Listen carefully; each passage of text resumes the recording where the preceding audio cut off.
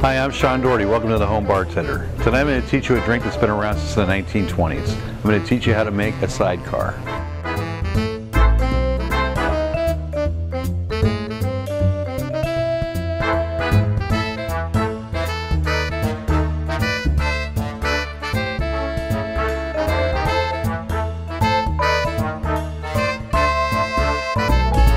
What you're going to need for this drink is cognac, some high, uh, high-end triple sec. This is a Cointreau, or you can use a, uh, a Grand Marnier, and lemon. And of course, a cocktail glass. And what I'm going to do is I'm going to take my half filled uh, with ice shaker and put two ounces of cognac in.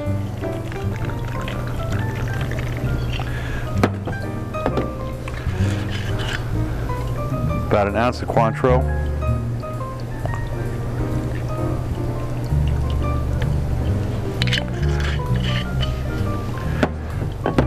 And then I'm going to take my lemon and cut it in half.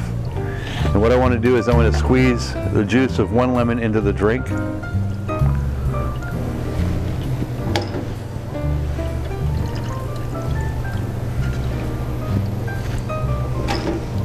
And I want to cap it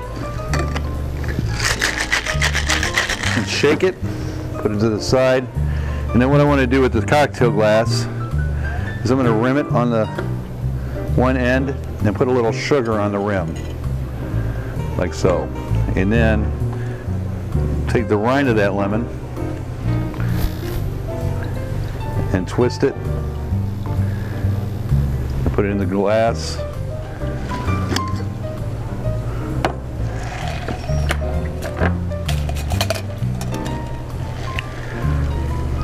And then strain the drink into the cocktail glass. And there you have a sidecar. Very common drink back in the 20s, 30s, and 40s. It's kind of lost its glamour here in the last uh, 20 years or so.